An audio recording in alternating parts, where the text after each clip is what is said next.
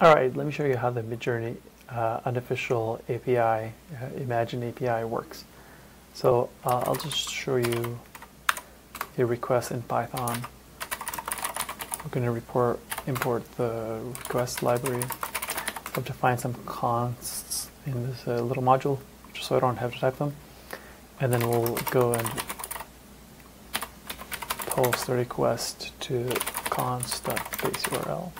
This is just the API path. We'll provide the authentication.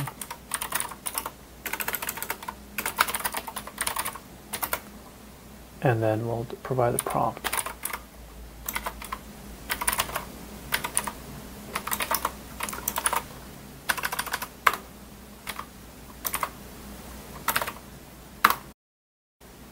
Okay, and now we can see the response of that. We get an ID back, and we get progress of null, and now we can query that uh, object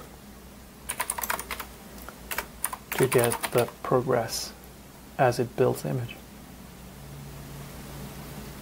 What was it? Base URL.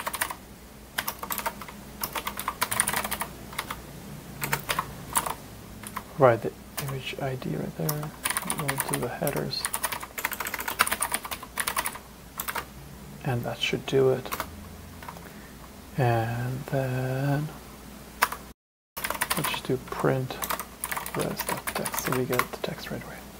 So progress is still null. Oh, it's too quick. It's already done. There you go. That's the image regenerated. And of course, you could just use the interface instead. Uh, where the banana prompt? There you go.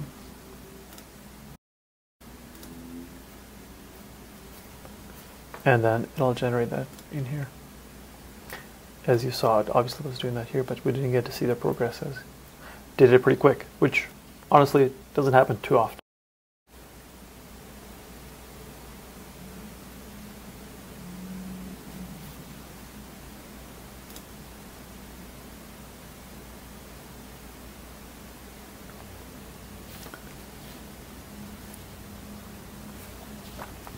Okay, there we go.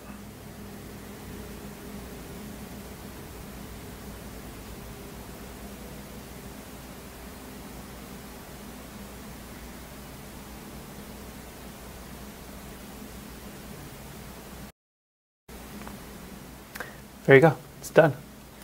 Let me know if you want early access. Thanks.